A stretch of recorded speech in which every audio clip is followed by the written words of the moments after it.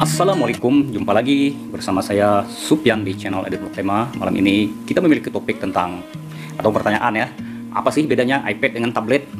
Pada prinsipnya, kalau menurut saya sama, iPad itu ya tablet ya. Tapi tablet tidak bisa dikatakan iPad. Mengapa? Mengapa tablet dikatakan tablet? Tablet itu memang dikatakan tablet, memang begitulah seharusnya ya. Akan tetapi umumnya tablet yang yang kita sebut sebagai tablet itu biasanya menggunakan sistem operasi Android. Nah, sekarang ada lagi sebuah tablet yang dibuat oleh Huawei menggunakan uh, sistem operasi Harmony OS buatan Huawei sendiri. Adapun iPad, Apple membedakan baik itu lini smartphone, lini tablet, lini laptop, lini uh, PC desktop atau komputer gede, komputer meja mereka itu berbeda. Kenapa? Karena memang Apple ini menciptakan sesuatu, membuat sesuatu, memproduksi sesuatu itu biasanya melawan arus ya. Jadi berbeda. Kalau umpamanya vendor-vendor pabrikan lain ya mereka itu mainstream umpamanya ini laku mereka membuat ramai-ramai yang berlomba-lomba membuat sementara kalau Apple ini biasanya menjadi pioner ya menemukan sesuatu menciptakan sesuatu tidak peduli itu itu apakah itu sudah mainstream sudah uh, tren apa tidak. Mereka menjadikan sesuatu yang mereka buat itu menjadi tren nah sangat ikonik ya. Mereka ini Apple ini adalah sebuah perusahaan yang menciptakan sesuatu dan menjadi ikonik. Umpamanya iPhone. iPhone itu ya smartphone. Tapi orang lebih mengenal kalau buatan Apple itu iPhone kemudian iPad. iPad itu ya tablet ya. Tapi orang tidak pernah mengatakan bahwa iPad itu tablet ya walaupun orang tahu bahwa itu tablet kemudian uh, laptopnya. Laptop disebut MacBook ya oleh Apple. Orang menyebut itu MacBook ini laptop padahal sama-sama dua-duanya itu PC laptop ya. Dan juga komputer mejanya yaitu komputer desktop ya. Mereka sebut iMac ya padahal itu sebenarnya PC desktop juga. Cuma sistem operasi dari sistem operasi sampai perangkat kerasnya memang dibuat oleh Apple sendiri. Jadi mereka membuatnya secara bagaimana eksklusif gitu ya. Kalau uh, HP-HP Android beda, pabrikannya sangat banyak, vendornya sangat banyak, tapi sistem operasinya itu Android miliknya Google, Google ya.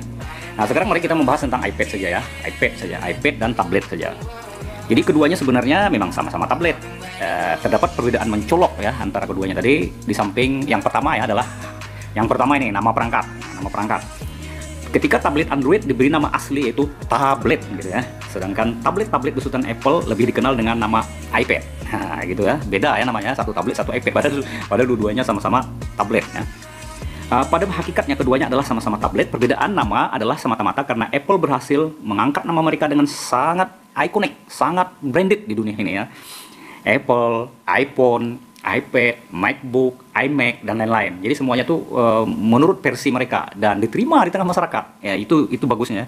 Kalau mungkin kita membuat sebuah uh, trademark atau merek dagang, umpamanya Adilina Sasa, ya, Sasa membuat usaha. Adilina Sasa, ya susah memperkenalkannya ya, susah diterima orang. Tapi kalau Apple membuat apa saja kalau mereka beri nama diterima oleh masyarakat gitu ya. Nah ini perbedaan nama ya, sedangkan tablet Android terdiri dari banyak vendor itu namanya ya kalau mereka buat uh, tablet ukuran berapa aja, model apa aja tetap aja tablet disebut. Oke itu perbedaan pertama nama. Perbedaan kedua adalah dapur pacu atau chipset ya, atau chipset atau microchipnya lah ya.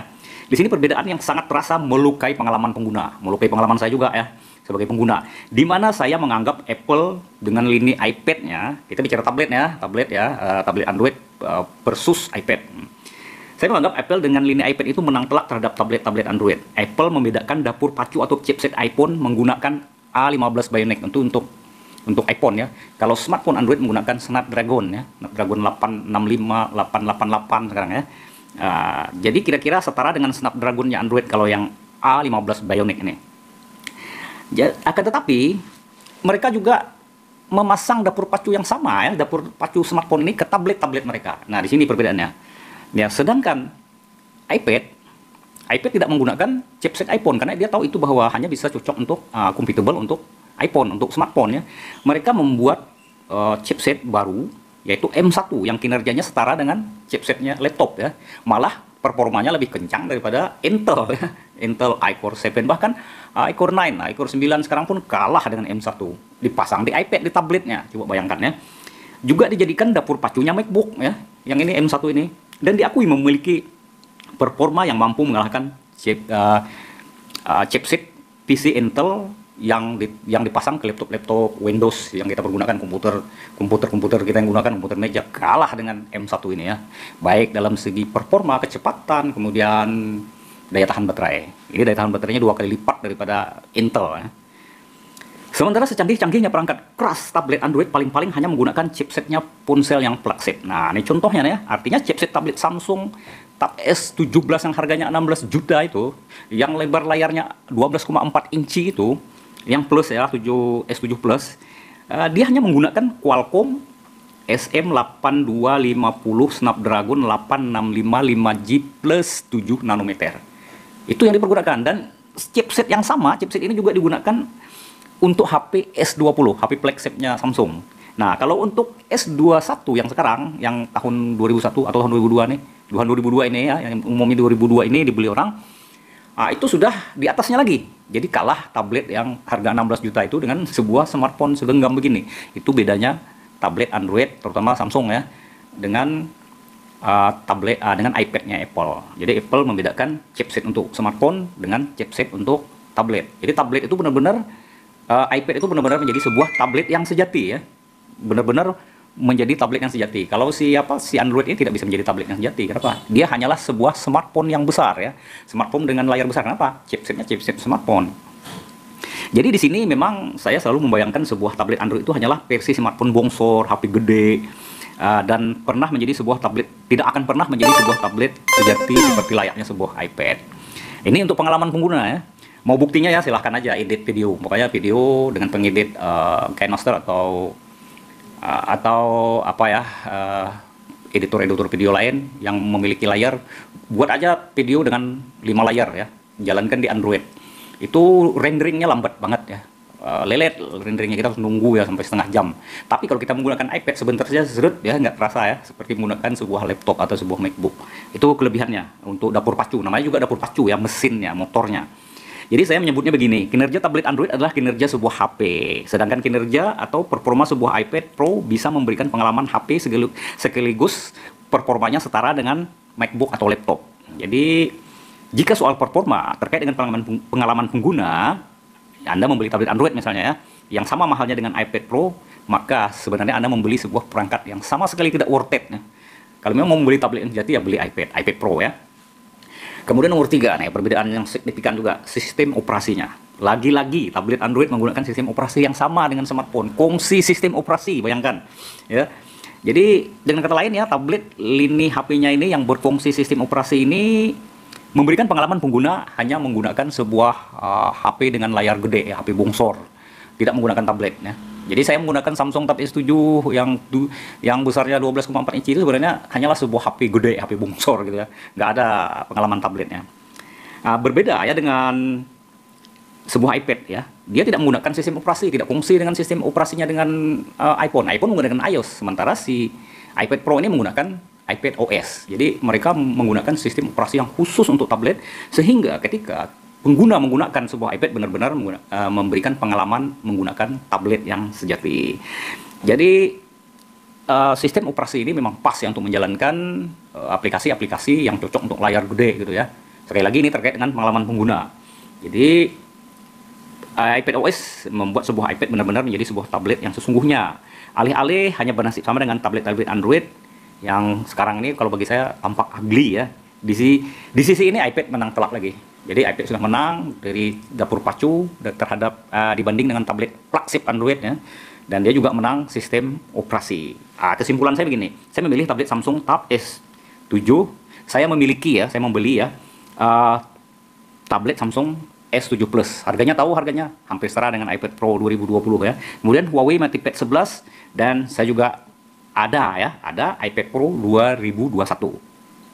Ketiganya memang produk, produk 2001. Jadi saya menempatkan prioritas penggunaan yaitu pada iPad.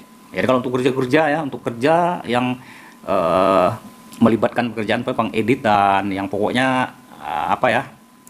Uh, pekerjaan-pekerjaan yang apa yang multimedia, multimedia yang kita harus membuat konten-konten multimedia ya saya menggunakan iPad. Jadi lebih apa lebih cepat, lebih kencang, itu baterainya juga lebih tahan ya daripada tablet-tablet uh, Android.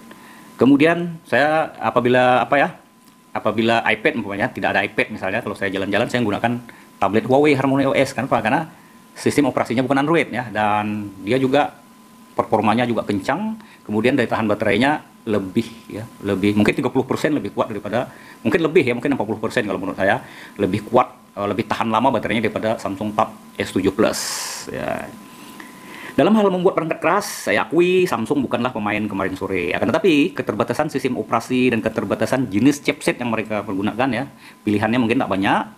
Eh, untuk tablet-tablet Android, ya saya jadi menyesal membeli tablet Android. Terus terang, sampai saat ini. Kecuali nanti apabila ada perubahan ya, kecuali ada perubahan, pokoknya Samsung sudah menggunakan sistem operasi yang berbeda, mungkin saya akan pertimbangkan lagi. Saya juga tidak terlalu terkesan dengan One UI ya, ini user interface-nya tablet-tablet Samsung atau perangkat-perangkat mobile Samsung. Ya, ini usaha Samsung untuk memberikan pengalaman berbeda uh, ketika menggunakan Android pada perangkat-perangkat buatan mereka.